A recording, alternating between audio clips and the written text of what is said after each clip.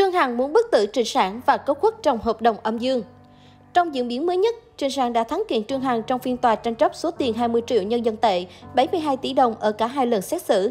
Nhất quyết không phục, Trương Hằng quyết kháng cáo lần thứ hai và bày ra những kế sách để dư luận thấy Trịnh Sản là một con người đáng sợ như thế nào. Tuy nhiên, trên Weibo hiện đang có tin đồn về việc Trương Hằng cố tình dùng thủ đoạn để bức tử, dùng Trịnh Sản vào đường cùng. Theo một blogger, người này khẳng định Trịnh Sản không vứt bỏ quyền nuôi con. Điều này có thể chứng minh qua văn bản ghi chép nội dung tại tòa án tại Mỹ. Nữ diễn viên vẫn luôn giành quyền nuôi con với bạn trai. Tiếp theo, người này lập luận Trịnh Sản muốn bỏ thai là vì Trương Hằng ngoại tình, nếu sinh con ra sẽ không thể cho con một gia đình hoàn chỉnh. Tuy nhiên, khi biết không thể nào bỏ được con thì quyết định sinh hai đứa trẻ. Cuối cùng, Trương Hằng đã tìm luật sư chuyên về tranh quyền thừa kế. Blogger này khẳng định Trương Hằng muốn bức tử Trịnh Sản, vừa muốn giành quyền thừa kế cho con, vừa có quyền nuôi con, tiền cuối cùng là về tay Trương Hằng.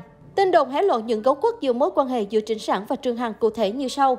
Thứ nhất, Trịnh Sản không hề từ bỏ quyền giám hộ. Những câu nói trong băng ghi âm là do Trương Hằng ác ý, cắt ghép gây hiểu lầm.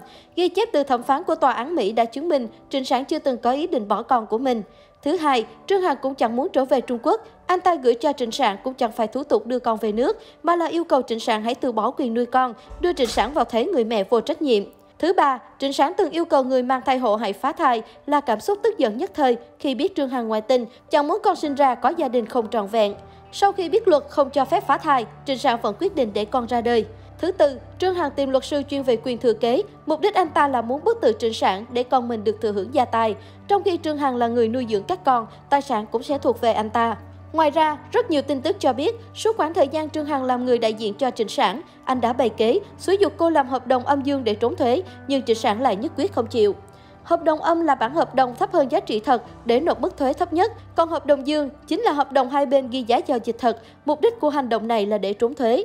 Trước cáo buộc này, Trương Hằng đã lên bài viết rất dài trên Weibo và bộc bạch rằng bản thân bị đối xử bất công. Trương Hằng còn giải thích rằng mình chẳng hề dính dáng đến chuyện hợp đồng âm dương của tình cũ, nhưng trong tay anh ta lại tung ra bản hợp đồng này của công ty Trịnh Sản để chứng minh cô nàng trốn thuế.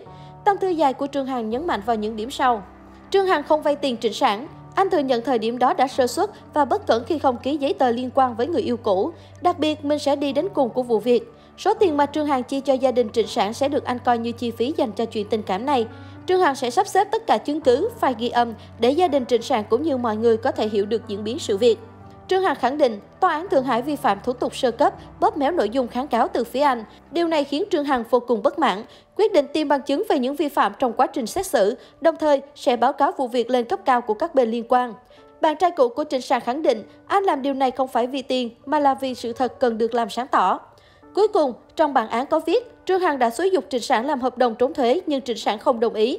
Bạn trai cũ của nữ diễn viên khẳng định sự thật đã bị bóp méo hoàn toàn, anh chưa từng xúi dục Trịnh Sản làm hợp đồng trốn thuế. Thời điểm đó, anh chưa làm người đại diện của bạn gái. Sự thật là, Trịnh Sản và gia đình đã thông qua một số công ty trung gian để làm hợp đồng âm dương. Trong quá trình xét xử phúc thẩm, tòa đã không kiểm tra chéo các chứng cứ liên quan theo đúng thủ tục. Chính vì vậy, Trương Hằng sẽ lấy lại các hợp đồng liên quan và các bản ghi trò chuyện mà anh biết để chứng minh mình vô tội trong vấn đề này. Trước động thái này của Trương Hằng, dư luận xứ Trung nổ ra tranh cãi gay gắt, bày tỏ dù Trịnh Sản không ra gì thì Trương Hằng cũng không phải là hạng người tử tế. Nơi nào úp vung nấy, đáng lẽ cả hai đừng nên chia tay để thiên hạ thái bình. Một thằng đàn ông hèn hạ, suốt ngày đòi tung băng ghi âm, thì con người này cũng thể hiện sự đê tiện, tâm cơ rồi. Không bên gì Trịnh Sản, nhưng loại người như Trương Hằng, đây là kiểu hèn hạ, ra nam, một đôi thật kinh tởm.